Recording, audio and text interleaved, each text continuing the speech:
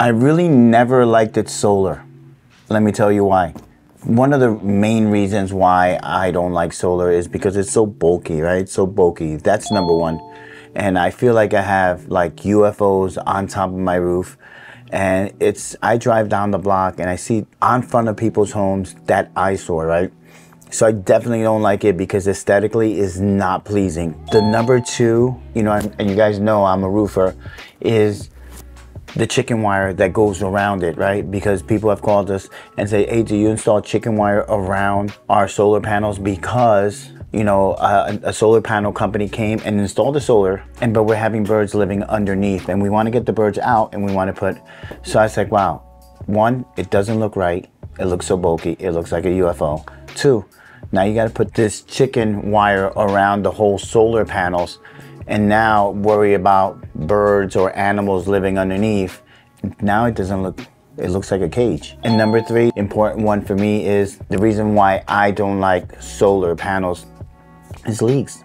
And a lot of people don't know that there's lags that are lagged in their brackets and they lag the brackets inside the every joist. So your roof can have around 300 lags, somewhere around two to 300 lags, depending on what system you buy.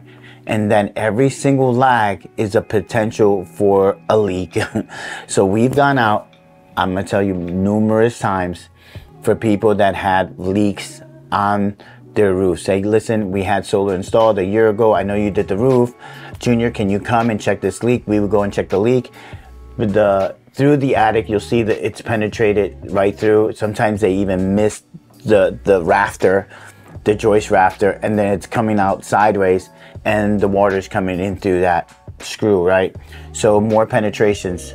But let me tell you something new and something different. GAF has changed the game. It's a new solar energy shingle.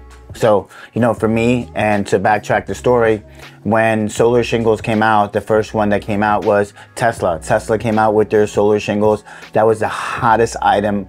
I loved it. I said, you know, I want a Tesla roof myself, right? But when we saw the cost involved, there was two problems that we saw with Tesla solar shingles. The number one problem was that the price was so so so expensive. It was like somewhere around $150,000 for almost a, a standard home, right? And it was something, a bigger loan that you had to get, but you had a, a Tesla roof. And then the second thing was it was booked out for about a year. So you could not get one. So if you wanted a Tesla roof, you're not gonna get installed in two or three months. You're gonna get it installed in a year and you're gonna be on a waiting list. So for us, we said, mm, that's not to be something for us. So now GAF came and changed the game, right? Let's go see it.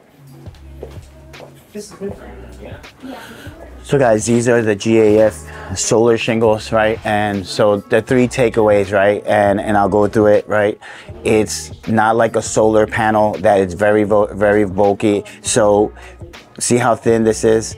It's not like solar panels, right? And you don't have to put like chicken wrap or chicken wire around these panels, right? The other thing is, as an installer, it's very easy to install. If you see this nail uh, line right here, it, this is where you install the actual nails to hold these and then around them.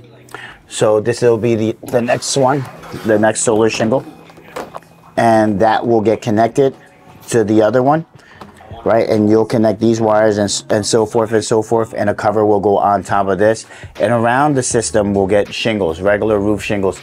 Obviously, those roof shingles are wider because of the panels, right? So these little thin shingles produce just as much as regular solar panels. So why not have something that's aesthetically pleasing to your home instead of having what I call UFOs on top of your roof, right? And the most exciting news is that we're installing this in New Jersey.